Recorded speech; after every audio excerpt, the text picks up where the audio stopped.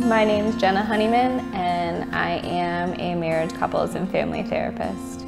I have a interesting perspective for counseling because I've done wilderness therapy, I've worked on a farm doing therapy, using outdoors, and I've worked in residential care. Therapy is a healing relationship between people. I use certain modalities to help you figure out who you are. I pathologize the space, I don't ever pathologize the person. So if something's happening in your marriage or something's happening in your family, it's not about what's happening, it's a symptom of something bigger.